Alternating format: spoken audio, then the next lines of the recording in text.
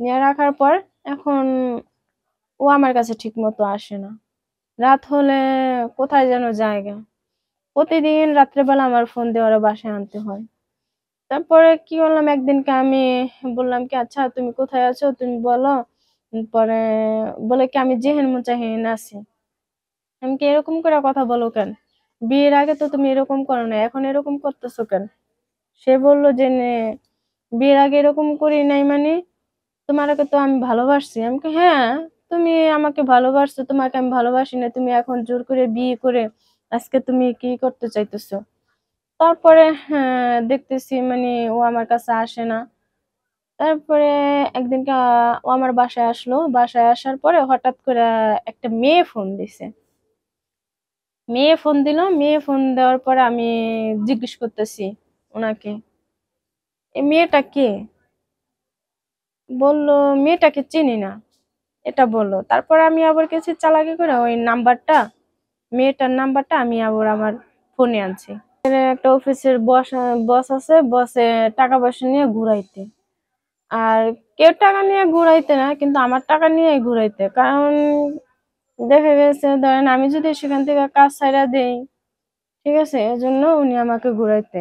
আর ঘুরানোর একটা এখানে কারণ আছে কারণ হচ্ছে যে ভাইয়া, উনি আমাকে ভালোবাসতেন। উনি ছিলেন একটু মুরব্বী, বয়স্ক। তো ওনার সঙ্গে, আমার সঙ্গে কি সাজে? ওনারও হচ্ছে চল্লিশ বছর বয়স, আমার কেবল আঠারো বছর বয়স। ঠিক আছে? এটা তো কখনো সাজে না। সে দেখা গেছে আমার সাথে অনেক ই করে মানে খারাপ ব্যবহার করে। আমার বস, আমার সাথে খুব খারাপ ব্যবহার করতো। আর আমাকে বলতো যে তুই যদি আমাকে ভালো না বাসস, তাহলে তোরে মাইরা ফেলাম, এরকম সেরকম এটা বলতো। আমি তারপরে কি করব?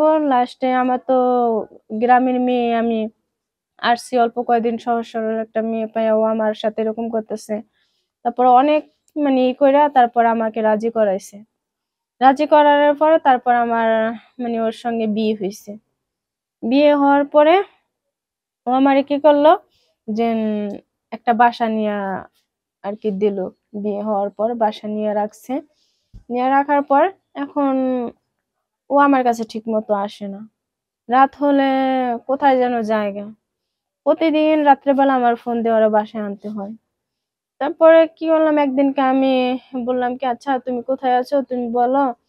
পরে বলে কি, আমি জেহেন মুচাহিন আছি। আমি কি এরকম করে কথা বলো কেন? বিয়ের আগে তো তুমি এরকম করো না এখন এরকম করতেছো কেন? সে বলল যে বিয়ের আগে এরকম করি নাই মানে? তোমাকে তো আমি ভালোবাসছি। আমি হ্যাঁ তুমি আমাকে ভালোবাসছো, তোমাকে আমি ভালোবাসি না, তুমি এখন জোর করে বিয়ে করে আজকে তুমি কি করতে চাইতেছো? তারপরে হ্যাঁ দেখতেছি মানে ও আমার কাছে আসে না। তারপরে একদিনকে ও আমার বাসায় আসলো। বাসায় আসার পরে হঠাৎ করে একটা মেয়ে ফোন দিছে। মেয়ে ফোন দিল। মেয়ে ফোন দেওয়ার পরে আমি জিজ্ঞেস করতেছি ওনাকে। এই মেয়েটা কে? বলল, মেয়েটাকে চিনি না।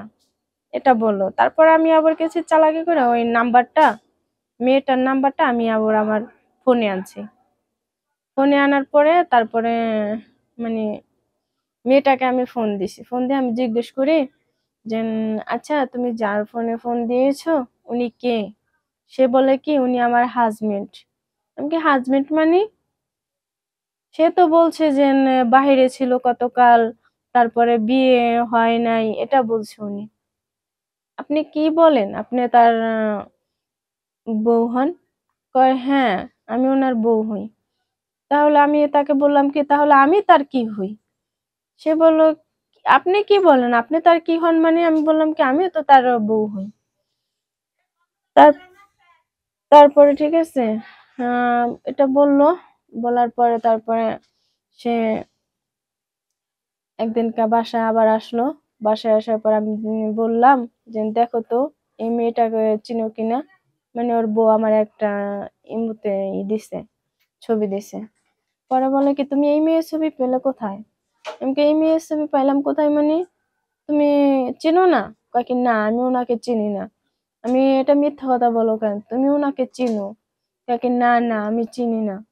পরে অনেকক্ষণ অনেক কিছু বলার পর অনেক মানে ই দেখাইছে ওরে।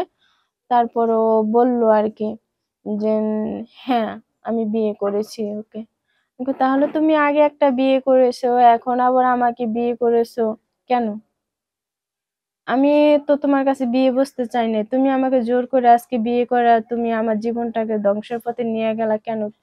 এরকম করলা কেন? পরে বলল যে, তুমি তো রাজি হও না জোর করে বিয়ে করছি, তোমার ভালো লাগছে তাই করছি। পরে বলে যে মানুষের দশটা বিয়ে করে না, চারটা বিয়ে করে না, সমস্যা কি? আমি না হয় দুইটা করেছি। বিয়ে করছে দুইটা, তারপরও অন্য মেয়ের সাথে আবার সম্পর্ক করে। সম্পর্ক করাকালীন তো ধরতে পারি নাই লাস্টে যা মানে ওর যে আগের বড় বউ, সেই বউ আর কি ধরে ফেলাইছে কীভাবে জানি। তারপরে সে আমাকে বলল বউটাও খুবই ভালো। বউটা আমাকে বলল যে, যাক, মানুষের জীবনে ভুল ত্রুটি হতেই পারে। এটা বলল। পরে দেখা গেছে দর্শক আর কি। অনেক কথাই বললাম আরে বলার পরও মানে অস্বীকার যাইতেছে ওই মেয়েটার নামে অস্বীকার। যেরকম আমারটা অস্বীকার গেছে মেয়েটাও অস্বীকার যাইতেছে না, ওর সাথে সম্পর্ক করে না এই করে না। এটা বলল। তারপর যাই হোক, দেখা গেছে আমি বলি যে, না, আমি একটা মেয়ে হয়ে আরেকটা মেয়ের সংসার কেন ধ্বংস করতে যাব? আমাকে জোর করে বিয়ে করছে করুক না। ওর ঘরে এখন আমার ছেলে মেয়ে সন্তানাদি হয় নাই। এখন আমি ওর কাছ থেকে দূরে সরে যাই। ও আমার সময় দিত না ঠিক মতো সময় দিত না, বাসায়ও আসতো না। এই আমারটা আমারই কইরা খাওয়া লাগতো, তাহলে আমি ওর কাছে কিসের জন্য থাকব? এটা বুঝো, তারপরে আমি ওর কাছ থেকে চলে আসি। ওকে আমি ডিফুজ দিয়ে দিই ডিফুজ দিয়ে তারপরে ওর সাথে আর কোনো যোগাযোগ রাখি না। যোগাযোগ রাখি না, রাখার পরে দেখা গেছে আমি আমার বাবার বাড়িতে থাকি। ঢাকা থেকে কাজ ছাড়ে দিয়ে আমি আমার বাবার বাড়িতে থাকি। ও আবার আমার বাবাকে ফোন দেয়, মাকে ফোন দেয়, আমাকে ফোন দেয়।